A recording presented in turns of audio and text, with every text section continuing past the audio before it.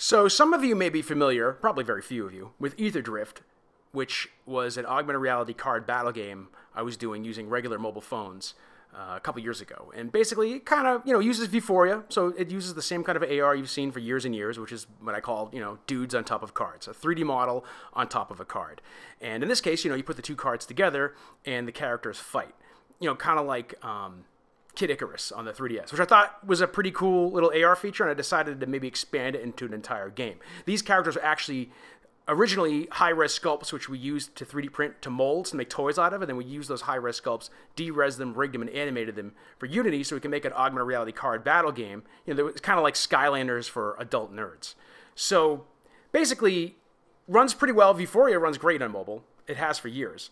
And so, uh, yeah, I thought it would be great to combine Ether Wars and Ether Drift, even though they're in the same universe, you know, they're two completely different games. I thought maybe I could combine the two with Vuforia for HoloLens because I was recently given access to the HoloLens beta for Vuforia.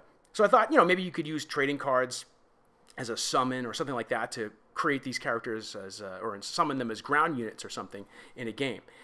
But it turns out that it didn't quite work as well as I had thought it would. I have the Vuforia 6 beta it's very early, and I didn't get much farther than trying the the test app to see what the performance was like before I determined that it probably needs a little bit more time in the oven for it to be performant enough for my purposes, at least for a game. So you can see here, I move this image target, and then the, the pot moves. You know, look at that lag. It's like half a second lag.